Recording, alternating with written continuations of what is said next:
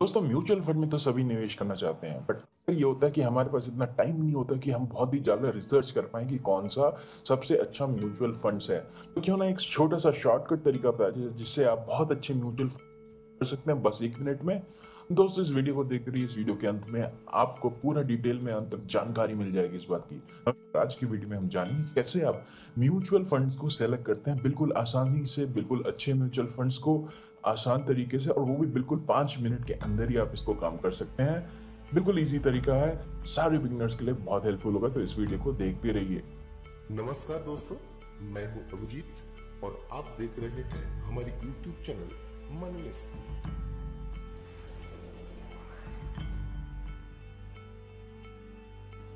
Select करने के पहले दो तीन चीज़ें समझ लें म्यूचुअल फंड्स के बारे में। कि म्यूचुअल फंड्स रिटेल इन्वेस्टर के लिए बेस्ट हैं, इसमें कोई डाउट नहीं है। आपको इन्फ्लेशन बीट करने में हेल्प करते हैं, आपको बैंक एफ़ से अच्छे रिटर्न देते हैं। उसके साथ ही आपको मेन थिंग होता है, लेकिन आपको कहाँ इन्वेस्ट किया जाए और कब इन्वेस्ट किया जाए। ये दो चीज़ें एस के रूप में कि आपको हर महीने इन्वेस्ट तो करना है बट कहाँ इन्वेस्ट करना है, बहुत इंपॉर्टेंट हो जाता है। और इसके लिए आपको ये पूरा काम ज़रूरत पड़ेगा कि आपको क्विकली कैसे म्यूचुअल फंड अच्छे म्यूचुअल फंड्स को सेलेक्ट कर सकते हैं। तो देखिए, जैसे स्टॉक्स की बात होती है, वैसे ही आपको म्यूचुअल फंड्स में भी डाइवर्सिफिकेशन ज़रूरी है। देखिए, जैसे एक पिरामिड का एक बेस होता है, फिर उसके ऊपर एक, उसका हेड होता है तो ये जो नीचे बेस होता है, वो स्ट्रॉन्ग स्ट्रेंथ प्रोवाइड करता है, ऐसे ही लार्ज कैप मतलब कि जो बड़े बड़े कंपनियों में म्यूचुअल फंड्स पैसा लगाते हैं। देखिए, म्यूचुअल फंड्स में अंत में जो आपसे पैसे इकट्ठा करते हैं, वो बड़ी बड़ी कंपनियों के शेयर खरीदने में लगाते हैं। तो जो लार्ज कैप म्यूचुअल फंड्स होते हैं, वो बड़े कंपनियों में लगाते हैं, जो मज़बूत कंपनी होती है, जिनका स्टेबल होता है, इतना बड़ा मुनाफा रहता है फिक्स क्लाइंट्स रहते हैं ग्रोथ स्टेबल रहती है स्टेबल रहती है। मिड कैप थोड़े बीच वाले स्टॉक से रहते हैं जो इमर्जिंग होते हैं। वो छोटे से अब बड़े हो गए लेकिन अभी और ग्रो करने बाकी और स्मॉल कैप बिल्कुल छोटे हैं। उनका छोटा प्रॉफिट है, लेकिन उसके अंदर पोटेंशियल है। तो जैसे ही आप अपना पोर्टफोलियो बनाते हैं large cap mid cap small cap को ज़्यादा लार्ज कैप फिर मिड कैप और कम स्मॉल कैप डालते हैं, उसी तरह से आपको म्यूचुअल फंड्स में भी इस तरह से डाइवर्सिफाई करना चाहिए। लार्ज कैप म्यूचुअल फंड्स में मल्टी कैप म्यूचुअल फंड जो इन सबको एक मिक्स लगाते हैं, या स्मॉल कैप जो स्मॉल कैप में लगाते हैं, जो मिड कैप में लगाते हैं, जो बैलेंस्ड होते हैं, जो इक्विटी में नहीं उसके साथ ही एफडी और डेप मतलब जो और कम रिस्की होते हैं मतलब इक्विटी से टोटल मिला के ही कम रिस्की होते हैं, उसमें पैसे लगाते हैं तो डाइवर्सिफाई करना आपको ज़रूरी है म्यूचुअल फंड सेलेक्ट करने के पहले। यानी आपके पोर्टफोलियो में एक म्यूचुअल फंड नहीं होना चाहिए, आपको चार से पाँच म्यूचुअल फंड्स कम से कम सेलेक्ट करने पड़ेंगे, चाहे आपका दो हज़ार रुपए का ही निवेश किया होना अब देखते हैं कि अपने एज और अपना रिस्क के हिसाब से आपको किन म्यूचुअल फंड्स को सेलेक्ट करना चाहिए। बिल्कुल क्विक तो देखिए large cap equity mutual funds क्या है? स्टेबिलिटी प्रोवाइड करते हैं। इसमें रिस्क कम होता है और रिटर्न भी उतना ज़्यादा नहीं होता है। मिड कैप स्मॉल कैप में रिटर्न ज़्यादा होता है क्योंकि छोटी कंपनी ज़्यादा जल्दी से बड़ी करेगी, लेकिन ऑलरेडी बड़ी कंपनी है। जैसे आपका दस लाख प्रॉफिट है साल का तो आप दस लाख से बीस लाख करना मुश्किल है, लेकिन आपका दस हज़ार प्रॉफिट है तो उसको एक लाख करना आसान है, क्योंकि आपको कोई भी जॉब मिलेगा, आपका दस हज़ार से बढ़ जाएगा। तो उसी तरह से आपको लार्ज कैप म्यूचुअल फंड्स में स्टेबिलिटी मिलती है, लेकिन मिड कैप स्मॉल कैप में ग्रोथ की ज़्यादा अपॉर्चुनिटी मिलती है, लेकिन थोड़ा रिस्क रहता है यहाँ पे। और मल्टी कैप में मॉडरेट होता है, इन दोनों का मिक्स रहता है, और बैलेंस फंड में वो कहते हैं इक्विटी में भी लगाता है मतलब पूरा शेयर्स में भी लगाता है, चाहे जिसमें लगा चाहे स्मॉल में लार्ज कैप में मल्टी कैप में, और उसके साथ ही वो बैंक एफ़ डी डेप्ट फंड जो कि गवर्नमेंट वाले बॉन्ड्स होते हैं, जो मतलब आपको कभी डूबेंगे नहीं और आठ परसेंट देंगे उसमें भी आधा लगाता है। तो मतलब वो मिक्स रहता है और वो ज़्यादा सेफ़ होता है। तो उसमें कम रिटर्न मिलते हैं, लेकिन सेफ्टी ज़्यादा रहती है। तो अपने रिस्क के हिसाब से आपको सबसे पहले ये डिसाइड करना चाहिए म्यूचुअल फंड सेलेक्ट करने के पहले। तो सेलेक्ट करने के पहले देखिए दो चीज़ मैंने आपको बताई है। एक तो आपको पहले डिसाइड करना है जानना है कि लार्ज कैप है मिड कैप है मल्टी कैप है बैलेंस्ड है क्या है? और अपने एज के हिसाब से जो आपका रिस्क है उसके लिए सेलेक्ट कर लीजिए। अब मैं एग्जांपल देता हूँ कि 35 ईयर से अगर आपका लेस एज है तो आपको एक एग्रेसिव पोर्टफोलियो चाहिए क्योंकि आपके पास बहुत लाइफ आगे बाकी है और आप म्यूचुअल uh, फंड्स में जब डालेंगे पैसा तो आपका मनी धीरे धीरे धीरे धीरे ग्रो करेगा और आप रिस्क ले सकते हैं क्योंकि आप 35 कम ईयर्स के लिए थोड़ा एक साल डाउन भी हो गया तो आपको उतना पैसे की नेसेसिटी नहीं है क्योंकि आप इनकम स्टेज में तो यहाँ पे रिस्क ज़्यादा हो सकता है बट आपको चाहिए क्या रिटर्न क्योंकि आपकी आगे लाइफ में पैसे की ज़्यादा ज़रूरत है और इसके लिए आपको रिटर्न ज़्यादा चाहिए। और इसलिए आपको मिड कैप स्मॉल कैप में फोकस करना है, लेकिन लार्ज कैप को बेस्ट बना के रहना है। तो यानी दो फंड आपको हेल्थ कैटेगरी में सेलेक्ट करने हैं। अब डिवाइड कर सकते हैं। मान लीजिए कि आपको two thousand rupees per month invest करना है तो five hundred rupees large cap में फाइव हंड्रेड रुपीज़ दूसरे लार्ज कैप में, यहाँ देखिए डाइवर्सिफाई हो गया दो अलग अलग में। Five hundred rupees mid cap में या स्मॉल कैप में और five hundred rupees mid cap में। तो दो मिड कैप, स्मॉल कैप और दो लार्ज कैप। अब इसमें एक मिड कैप और एक स्मॉल कैप भी हो सकता है, दोनों मिड कैप हो सकते हैं, क्योंकि दोनों में रिस्क ऑलमोस्ट है, लेकिन एक मिड कैप, एक स्मॉल कैप और दो लार्ज कैप एडवाइजेबल है। पर यहाँ पे आपको बैलेंस फंड की एक्चुअली ज़रूरत नहीं है। तो यहाँ पे देखिए 50 percent small and mid cap 50 percent large cap अगर आपका 35 तो इस तरह से आप सेलेक्ट करेंगे। देखिए बिल्कुल क्विकली सेलेक्ट करने का आपका तरीका 50 percent small cap 50 percent large cap और किसमें डालना, ये हम थोड़ी देर में देखेंगे तो इस वीडियो को देखते रहिए। अगर आपका 35 ईयर्स के ऊपर एज है तो आपको क्या चाहिए? देखिए, आपको मोस्टली अपने अपना शादी हो जाएगा, आपके बच्चे स्कूल जाने लग, लगेंगे। तो मतलब कि आपको अब क्या है कि आपको मॉडरेट और रिस्क फ्री पैसा चाहिए रहता है। तो यहाँ पे आपका फोकस क्या होना चाहिए ज़्यादा?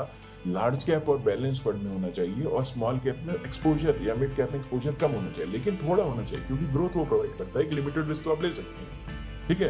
तो यहाँ पे आपका थर्टी परसेंट स्मॉल कैप और मिड कैप में लोकेशन और सेवेंटी परसेंट आपका लार्ज कैप में लोकेशन यानी बड़े फंड्स में होगा। तो देखिए, इसका अब सिंपल सा एग्जांपल क्या है कि आपको इस तरह से डिवाइड करना है कि thirty percent small and mid cap में। तो यहाँ पे अगर मान लीजिए आप दो हज़ार रुपये जो अभी पिछले बार लगा रहे थे तो यहाँ पे दो लार्ज कैप फंड उठाइए। पहले लार्ज कैप में पाँच सौ रुपये पर मंथ की एस दूसरे लार्ज कैप में पाँच सौ रुपये पर मंथ की एस फिर एक बैलेंस फंड यहाँ जाता है, वहाँ पे पाँच सौ रुपये की एस इसमें डेप्ट रहेगा तो बहुत सेफ़ रहता है ये वाला। और ग्रोथ का भी फैक्टर मिलेगा और स्मॉल कैप में केवल पाँच सौ रुपये तो यहाँ पे देखिए सेवेंटी परसेंट आपका लार्ज कैप या बैलेंस फंड में लगा है और थर्टी परसेंट कंपोनेंट रिस्क वाला होता है। तो यहाँ पे आपके लिए कम रिस्क में रिटर्न उतना ज़्यादा नहीं मिलता जितना एग्रेसिव पोर्टफोलियो में मिलेगा, लेकिन आपका सेफ़ रहेगा। तो आपको कभी भी पैसा, मान लीजिए आपको आगे ज़रूरत पड़ती है अपनी लाइफ में तो आपके पास ये ऑप्शन रहेगा कि आप उसको निकाल सकते हैं। क्योंकि एग्रेसिव पोर्टफोलियो हो सकता है कि आपका बहुत डाउन हो जाए कई बार पोर्टफोलियो भले ही उसमें प्रॉफिट दोनों में होगा, लेकिन उसमें थोड़ा रिस्क ज़्यादा रहता है। तो इस तरह से आपको टाइम करना है, ठीक है? अब चलिए हम देखते हैं कि कैसे आप एक्चुअली में पाँच मिनट के अंदर में सेलेक्ट कर सकते हैं म्यूचुअल फंड्स बहुत आसानी से, ठीक है? जो ये अच्छे, मैंने आपको बताया large cap small cap balance अब इसको बस फाइव मिनट्स में बहुत अच्छा पोर्टफोलियो बनाने के लिए क्या करना है आपको, इसको क्विकली चलिए देखते हैं। दोस्तों, देखिए, यहाँ पे मैंने क्रिसिल की वेबसाइट खोल ली है, जहाँ पे म्यूचुअल फंड्स रैंकिंग उन्होंने दिया है। क्रिसिल एक ग्लोबल एसएनपी की रेटिंग एजेंसी है उनका काम ही है कि स्टॉक को और म्यूचुअल फंड्स को रेट करते हैं, और ये बहुत ही डिपेंडेबल रेटिंग एजेंसी है। कैसे हम क्रिसिल की ऑलरेडी देखिए, आपके पास अगर टाइम नहीं तो यहाँ पे रेडमेड कंपनी बैठी जो पूरा रिसर्च कर रही है, और ये आपको म्यूचुअल फंड्स बेस्ट सेलेक्ट करके देगा। यहाँ पे आपको बस कैटेगरी सेलेक्ट करनी है, यहाँ पे आपको सेलेक्ट करना है लार्ज कैप क्योंकि सबसे पहले आपको लार्ज कैप फंड चाहिए। तो लार्ज कैप सेलेक्ट करना है, आपको रैंक वन का सब डिटेल वाली फंड्स आ जाएँगे, फिर रैंक टू के हिसाब से आएँगे। और यहाँ पे इसके रिटर्न दिए। अब यही सेम चीज़ आपको मिल सकता है मनी कंट्रोल की वेबसाइट पे भी। और मनी कंट्रोल के वेबसाइट पे इसका भी लिंक मैं डिस्क्रिप्शन में देता हूँ। यहाँ पे आप लार्ज कैप फंड सेलेक्ट करेंगे और यहाँ पे आपको देखिए जो ऊपर रैंक वन वाले फंड्स आ रहे हैं और रैंक टू फंड्स वाले क्रिसिल के रैंक है फंड्स तो क्रिसिल के रैंकिंग वाले फंड्स को आप डेफिनेटली बाई कर सकते हैं और इसको बाई करने के लिए आपको बस एक चीज़ देखना है। आपको ऐसे फंड सेलेक्ट करने हैं जहाँ पे year on year return average बराबर है। जैसे अगर पाँच साल में ट्वेंटी वन परसेंट रिटर्न है यहाँ पे तो तीन साल में भी ट्वेंटी वन के पास ही ऐसा ना हो कि five year return twenty one है थ्री ईयर में आपका टेन परसेंट है वन ईयर का फिफ्टी परसेंट ऐसा इनकन्सिस्टेंट रिटर्न नहीं होना चाहिए। तो जो भी रैंक वन वाले म्यूचुअल फंड जो आपको कंसिस्टेंट रिटर्न्स दे रहे हैं उन स्टॉक्स में आपको जैसे अब एक्सिस ब्लू चिप फंड हो गया यहाँ पे कंसिस्टेंटली रिटर्न दे रहा है। ऐसे ही आप अगर जाएँगे और देखेंगे तो यहाँ पे ICICI Pru blue chip fund है जो 21 परसेंट तीन साल में 16 परसेंट दो साल में 16 परसेंट तो एक कंसिस्टेंट आपको रिटर्न दे रहा है चाहे कितना भी आप टाइम फ्रेम देखें बराबर। तो देखिए सारे म्यूचुअल फंड का ही होता है या तो एवरेज में 15, 16, 17 के राउंड का मिलेगा लेकिन इससे आप जो रैंक वन है इसमें आप अपना दिक्कत ऐसी रैंक टू में भी आप देख सकते हैं और देख सकते हैं ये लेकिन अब इसमें देखिए थोड़ा हल्का सा इसमें इनकन्सिस्टेंसी है। मतलब एक साल, पाँच साल में ट्वेंटी फोर परसेंट है, इसमें केवल फोर्टीन परसेंट है। तो वैसे तो ये भी सही है बट इसको आप अवॉइड करना चाहते हैं रैंक टू तो रैंक वन में आप कर सकते हैं। अगर आप रैंक टू वाले को लेंगे तो भी है तो देखिए बिल्कुल म्यूचुअल फंड्स रैंकिंग अगर आपको कोई मेहनत नहीं करना, इस पर आप आँख बंद के डिपेंड कर सकते हैं, और जो भी कैटेगरी आप सेलेक्ट करेंगे, उसको हो जाएगा। तो जैसे लार्ज कैप मैंने आपको बताया, फिर आप मिड कैप में ऐसे देख सकते हैं। तो कि एल मिड कैप फंड बहुत ही शानदार फंड है। और एक्सिस मिड कैप फंड बहुत अच्छा मिड कैप फंड है। डी एस ब्लैक रॉक बहुत अच्छा फंड है। तो ये सारे म्यूचुअल फंड्स को अगेन ये देख के आप ले सकते हैं और उसके साथ ही आप स्मॉल कैप भी देखना चाहें तो यहाँ स्मॉल कैप देखेंगे। और यही सेम चीज़ आप यहाँ पे भी कर सकते हैं। यहाँ पे मिड कैप कीजिए। यहाँ पे मनी कंट्रोल की वेबसाइट पे थोड़े और अच्छे से दिख जाता है। यहाँ पे आपको हर ईयरली रिटर्न ब्रेकअप के साथ दिख सकता है। तो देखिए Axis mid cap fund rank one बहुत ही शानदार कंसिस्टेंट रिटर्न है। इसका मिड कैप में मिड कैप फंड्स का तो एक्सिस मिड कैप फंड आप ध्यान दे सकते हैं। उसके साथ ही अगर आप नीचे और जाएँगे तो आपको L N T mid cap fund मिलेगा, जो कि बहुत अच्छा रिटर्न दे रहा है। ठीक है तो L N T mid cap fund तो ये सारे मिड कैप फंड्स को आप देख सकते हैं। ऐसे ही स्मॉल कैप फंड में आप जाइए तो रैंक वन वाले फंड्स क्रिसिल के, उनकी वेबसाइट पे भी दिया हुआ है। यहाँ पे यहाँ पे क्रॉस वेरीफाई करके कर सकते हैं।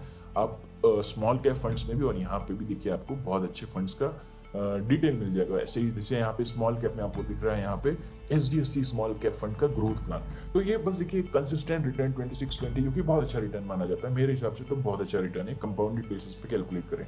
तो ऐसे आप सेलेक्ट कर सकते हैं। क्विकली केवल फाइव मिनट्स में आपको कुछ नहीं पता। तो ये डिपेंडेबल तरीका है आपको एक पोर्टफोलियो बनाने का। बस इसको जो मैंने पहले बताया डाइवर्सिफिकेशन का आपको ध्यान रखना है।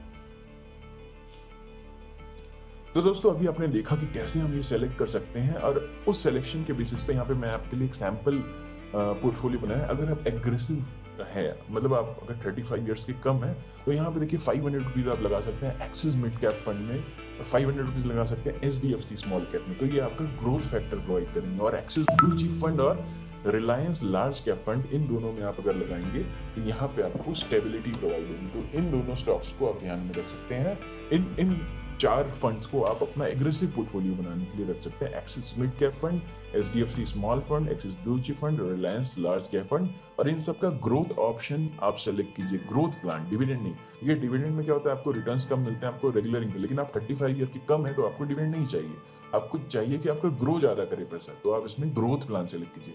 अब यहाँ पे अगर आप मॉडरेट हैं तो इसके लिए देखिए, जैसे हमने सेलेक्ट किया स्टॉक अभी जैसे हमने सेलेक्ट किया म्यूचुअल फंड्स तो उसके बेसिस पे देखिए किस तरह का आपका एक बहुत ही अच्छा पोर्टफोलियो दो हज़ार रुपये पर मंथ केवल उसके हिसाब से पाँच सौ रुपये आप डालिए एक्सिस मिड कैप फंड में या H D F C small cap में।